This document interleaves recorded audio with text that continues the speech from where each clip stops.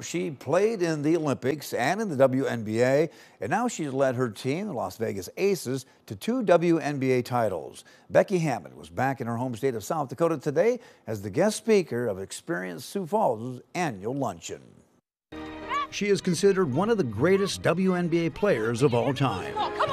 Becky Hammon, who grew up playing in Rapid City and was a six time WNBA All Star, talked about being back in South Dakota. I mean, it's, it's my roots, it's where I'm from. And how growing up here helped shape who she is today. The one thing that people don't understand about South Dakota is it's either outdoors and fishing or sports. There's like, that's what we do here.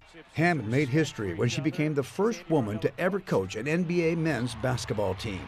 While she coaches for Las Vegas Aces in the WNBA now and won back to back national championships, she hasn't ruled out coaching in the NBA again. And a lot of times people are scared to do something that's never been done before. Um, so it's going to have to take a special group of leadership and ownership to kind of pull the trigger. Not that I don't think it can be done, I think it can be done. Hammon also talked about Caitlin Clark and how she has helped elevate women's basketball and the number of people who watch it. We're already moving the needle in Las Vegas, but uh, Caitlin's arri- arrival really kind of, I mean, it's undeniable her impact is undeniable. The numbers are there. The numbers don't lie, right? Almost 20 million people watching a women's college basketball game. And her advice to young girls is simple.